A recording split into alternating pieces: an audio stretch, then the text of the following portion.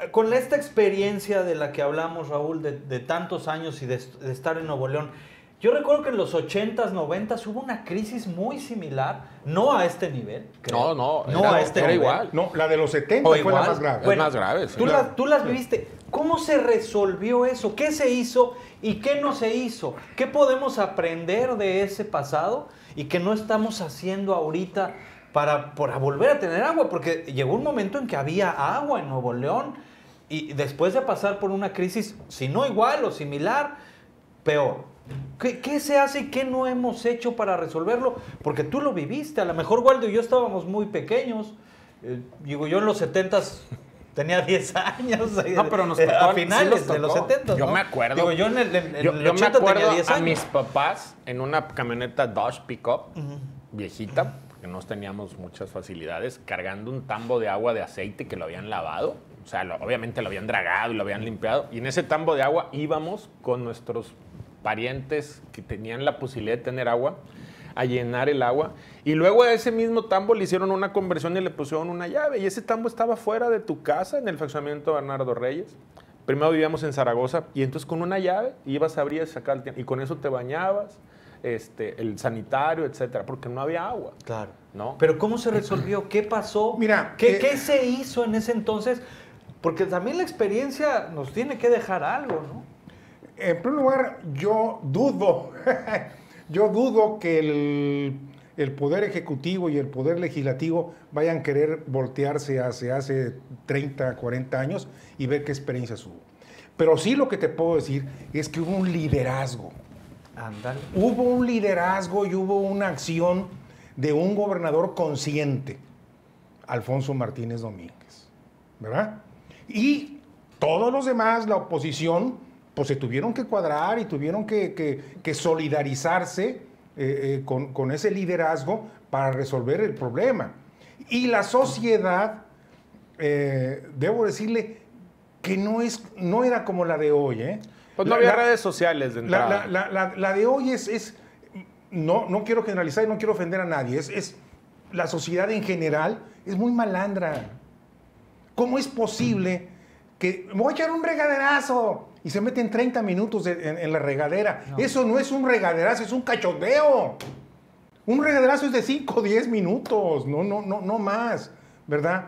Eh, entonces, creo que la- el, el- el tipo de valores o nivel de valores de hace 30, 40 años era mucho más sólido que el actual y había más responsabilidad en última instancia. Y la población era menor. También Claro. creo que ese, ese factor eh, de- de- debe, debe de influir. Yo, yo tengo una discrepancia contigo, Raúl. Qué raro. Bueno, pero, pero porque la- lo acabo de ver en un documento que sacó la NEI de Fernando Turner. Eh, lo vi también con el Consejo Cívico de las Instituciones y todo este asunto. Vi que, en- la carta de, no sé si fue Turner o, o quién sacó la carta de, ahí, pero hablaban ahí que el Congreso resuelva la crisis del agua. Me explico. Y luego hablaba eh, el Consejo Cívico ayer, tuve, no un debate, pero Sandrín me escribió por, por Twitter a, a propósito de una visita que tuve yo en México con la gente de Conagua, que llevé un alcalde, y me dijo, es que en Nuevo León se requiere que Conagua intervenga y que Conagua está interviniendo. Hay pipas aquí circulando por toda la ciudad, 120 pipas de Conagua, tengo entendido que están operando en coordinación con el titular del Ejecutivo, hay que aclararlo, porque él es el que trae la política pública. Y yo lo que le contesté es, oye, pues es que el, gobernador es el que tiene el mandato, la gente lo eligió a él, él es el estratega para resolver esta crisis. No así como nos están pidiendo, que yo eh, eh, estoy, me abstuve en ese debate, que la UIF, ¿no? Este, eh, se la dejen al gobernador porque él le compete, pues al Congreso no le compete resolver la crisis del agua, al Congreso lo que le compete es ser oposición y decir, gobernador, esto no está claro, no está señalando todo esto aquí. ¿No será, Raúl, que en esta discusión de repente también est- le estamos pidiendo a las autoridades cosas que no son de su competencia y, y se genera otra confusión? Como la que anda, como el mame que traen ahí de que Juan Barragán es el dueño de Arca. No es cierto, nada que ver. Pero aquí lo que sucede es que los organismos intermedios, cuya función Claro. es, según ellos, generar ciudadanía, ellos mismos mandan comunicados eh, equivocados donde te estás pidiendo a, un- a un- o a los legisladores que resuelvan una problemática que no la pueden resolver. Si, si se la quitamos, agua y drenaje y se la damos a un ciudadano, sí la podemos resolver. Pero esos mismos organismos se quejan de que estás atacando al Ejecutivo. Y creo que ahí también es parte de la disputa y de la confusión. Creo que es, la palabra clave, tú lo acabas de decir, es no hay liderazgo. Sí. Y creo que falta otra palabra, no hay serenidad. Tenemos que estar serenos, se tiene que... que- Y no hay solidaridad. Pero eso es por parte de la sociedad. Claro, pero en ese alguna liderazgo- parte de la sociedad. Pero ese liderazgo no se está dando justamente por estar enfrascados en esta discusión entre Congreso y Ejecutivo. Porque ahí en vez de estarse peleando, alguien debería decir, a ver, vamos a dejar la bronca para después y vamos a concentrarnos en el tema principal que resolver el problema del agua. Es que la bronca aquí es que ya es un asunto suicida y fratricida. ¿Cómo se llamaba esta, este, esta época de la, de la historia griega de, de París que se roban a la novia de... de- Ah, sí, sí, sí, eh, de... se me fue ahorita la, la historia, pero es una Sí, sí, parte sí. épica de la historia griega. Que sí, se de la mitología. De la y- mitología, ¿no? Este, donde estaba Aquiles, ¿no? Que, eh, que va Aquiles y, y a salvar a- Bueno, en realidad era Agamenón y Agamenón. Agamenón, Agamenón. Agamenón era el, el marido. Exactamente. ¿no? Y Ofendido. este, el ofendido. Y entre el ejército griego iba el famoso Y Aquiles. entonces, en esa. Todo el mundo sabían que iba en una guerra estúpida, a una contienda estúpida, que iba a terminar en una resolución estúpida. Pero allá van todos. Y creo que aquí ya pasó eso. O sea, el asunto es cómo construye el gobernador con la oposición, ¿no? Si sigue continuando con las prácticas. ¿Y cómo construye la oposición con el gobernador si el único lenguaje que entienden es el del interés minoritario de grupo? Nunca es el interés superior de la población. Y entonces aquí es donde vamos a estar en este vacío. A ver, guarda. A ver, a ver, a ver, a ver, a ver, a ver, a ver, a ver. Está bien.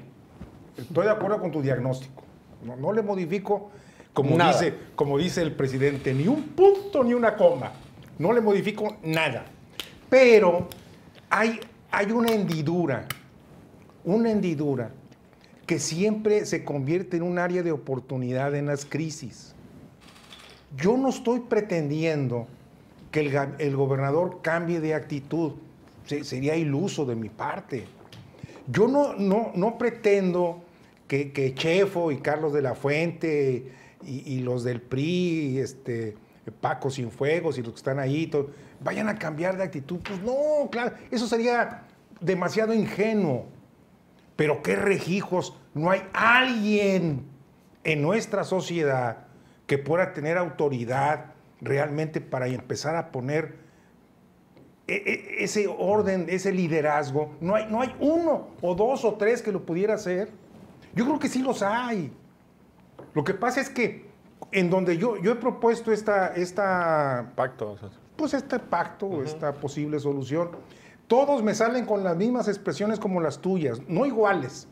No que es que el gobernador, quién sabe qué, no es que es que lo- lo- el PRIANI, que, sí, ya eso ya lo sabemos. ¿Por qué no rejijos dejamos atrás eso y montamos en la mesa una propuesta que realmente eleve la discusión? Ese es mi punto. Yo no sé si se dé, no, no, no lo sé, pero sí tenemos que hacer el esfuerzo, carajo. Claro, a ver, coincido contigo. El problema es si me dices ahorita, oye, tres personas que pudieran liderar estas mesas de negociación. Es que también eh, desde afuera, no, con toda la mejor intención del mundo, eh, se ve es una gran idea. El problema es que tú que estás desde adentro y que cuando hablas con una parte o con la otra parte, lo único que ves es, es un encabronamiento colectivo de un lado y del otro, discusiones. La verdad, hay que decirlo. O sea, perdón y se van a enojar, pero pues eso fue lo que la gente votó, cabrón. No, no, no, espérame, espérame. Entonces, yo, vas a traer, por ejemplo, a, a quién? ¿Un empresario? No, no, ¿por qué siempre los empresarios? Por eso digo, ¿a quién es que ¿Por no hay no? que...? eh, yo, yo veo aquí uno, Sí, yo podría aquí vi un ser. candidato. ¿Sabes qué pasa? Eh, Yo estaba yo reflexionando lo que están diciendo los dos. Y el punto es que ese de liderazgo, primero lo debería de asumir por, por obligación y por cuenta propia el propio gobernador. Táchalo. ¿No? No, Pero no lo está ponle- ejerciendo. ponle tachita. Por eso, ese es el punto. Que quien lo debería de estar ejerciendo el liderazgo no, No, lo está ejerciendo. ponle tachita. Y después nos estamos dedicando mucho a que quien puede surgir lo van a denigrar. Y, y, por ejemplo, el ejemplo de Waldo, ¿no? ¿Cuántas propuestas has hecho en el Congreso No, y bueno. te las votan todas? ¿Por qué? Porque a lo mejor pueden ser buenas, pero ah, es, es quien es. No le vas a dar un reconocimiento porque no es de tu lado. Y ahí es donde estamos, creo yo, yo, yo creo que tendríamos que buscar un, colectivo, el tema. Es Raúl, correcto. De personas que representen a los tres o cuatro partidos dominantes a la sociedad civil y, sac- y sacar un, un manifiesto para, oigan, sentémonos a negociar sobre estas Sí, bases. señor. Una agenda mínima. Es E- Ese es el tema, una, Una agenda, agenda mínima. mínima. No, No, porque... no, no hagas una agenda de 20 puntos porque se va a No, perder. no, no, pero O sea, una de la- el primer punto de la agenda mínima es un compromiso del gobierno del Estado de dejarse de robar Es correcto. Diputados, senadores y alcaldes. Porque tampoco podemos poner en la agenda mínima que no se persiga la corrupción. O sea, eso no lo podemos poner. Estamos de acuerdo. Eh, Que si hay persecución, bueno, ese es un asunto. Pero afortunadamente las instituciones son fuertes y no solamente en el Estado. Eh, Hay, hay juzgados federales. O sea, eso se puede resolver. Pero el primer punto de la agenda sería, señor gobernador, deje de estarse llevando diputados. Usted se roba a un diputado, un alcalde, un regidor y se- de inmediato se le presenta un juicio político en el Congreso con todas estas personas que están aglutinando la pacificación del Estado. Porque ya no va a ser un asunto partidista, va a ser un asunto de tú vas a meter tu reputación, tu tiempo a esto, el otro que vaya a meter las 10, 20 personas que estén ahí y que esa sea la agenda mínima. Ese es el primer punto. A ver, señor gobernador, dejen de estar chingando con la nómina y de estarse robando eh, funcionarios porque están desviando el proceso electoral. La segunda agenda mínima tiene que ser la del Congreso. Generen condiciones de gobernabilidad. Porque ¿cuál fue el problema? Y a ver, es que en el pecado llevaron la penitencia. Entendieron, el gobernador o el movimiento ciudadano entendió que la oposición es servil. Que no podían criticar, cuestionar, decir, la oposición, ese es su papel. Es Entonces, el- él, fue oposición. Exacto, pero entonces... Él fue oposición. Ellos fueron- bueno, él fue el que se opuso al Monterrey 6, para empezar. Entonces, aquí el asunto, el segundo punto de esa agenda sería esa, justamente. Oiga, eh, eh, esto. Y luego que haya verdadera representación. ¿Cuál es el problema también que pasó, Raúl? No, ya no tenemos, la mayoría de los activistas están en el gobierno. Muy similar a lo que pasó con Jaime. Se fueron al gobierno. Muy válido, o sea, yo no cuestiono, cada quien su decisión, pero están en el, en el gobierno. Entonces, y luego tenemos órganos intermedios que se cargan en una decisión a favor de un bando o del otro y no se dan cuenta incluso que atropellan su propio prestigio. ¿no? Y ese es el tercer punto. Entonces, ¿yo qué, ¿yo qué digo? A ver, yo sí veo la posibilidad de construir un frente por la gobernabilidad del Estado con tres o cuatro temas básicos. Cuarto, señor gobernador, destine todo el dinero a resolver la crisis del agua. Ya, eh, lamento mucho el tema del metro y todo eso, lo lamentamos, pero estamos en un estado de emergencia, en un estado de emergencia. Es como una guerra tenemos que tener una economía de guerra y la economía de guerra se tiene que dirigir, cuando estás en una guerra, a dos cosas, la alimentación y el suministro de armas. En este caso, la economía de guerra se tiene que dirigir a, un tema. El agua, dos temas, perdón, al agua y gobernabilidad. Y la gobernabilidad pasa por seguridad, la la relación con los congresos. Eso es lo que creo yo que tendríamos que hacer. Pero, pero yo ¿Cómo no- hacerle? Pues habría que sentarnos y poner 10, 15 personas que pudieran estar ahí, que procedan, que tengan cierta calidad moral. Obviamente, pues nadie es, eh, eh, eh, ¿cómo se llama? ¿Quién lo va a Monedita de oro. Sí, Sí, a- sí. a- habrá quien cuestione, pero por ejemplo, tú y yo aquí tenemos maneras diferentes de pensar, pero nos respetamos y pudiéramos estar tratando de forzar eso, me explico, ¿verdad? ¿Por qué? Porque finalmente tú representas un pensamiento, yo otro, pero los dos queremos que a Nuevo León le vaya bien. Claro. Y yo no creo, y lo digo así con todas sus letras, que ni, ni, ni el gobernador ni los diputados del PRIAN quieran que a Nuevo León le vaya mal. Esa es la verdad. O sea, nadie se levanta pensando, "Vam- hoy voy a destruir mi estado, hoy voy a destruir mi gobernatura, hoy voy a destruir mi No, diputación. pero sí se levantan, sí se levantan con un espíritu egoísta. Exacto. Oh, eso De sí. primero eso mis sí. dientes y luego mis parientes. parientes. ¿Me regalan un sí. café? Sí, claro. Eh, digo, Eh, eh, eso sí. No, y se levantan Yo- diciendo yo- es, ¿cómo, perdón? ¿Cómo me los voy a chingar hoy o cómo me los voy a chingar hoy? claro. Entonces, y eso tendría que ser parte de este pacto consensado. De- tranquilicemos. Luego, el papel de los medios es importante. Porque también yo lo que percibo es desesperación de la gente cuando te... Yo, yo recibo diario entre 500 a 1000 watts, dependiendo de lo que pase. Y la queja soterrada es que no, no sale mi queja, no lo dicen, no esto. Entonces también hay, el, el gobierno tiene que entender que también un catalizador del problema son los medios de comunicación. Es mejor que la gente proteste en la tele a que estén cerrando las vialidades, ¿no? Y luego también, pues a, la clase política, porque también yo no, no, no me pongo del lado del gobernador diciendo que todas las protestas están mal. Ah, La realidad es que tú vas al baño y no hay agua.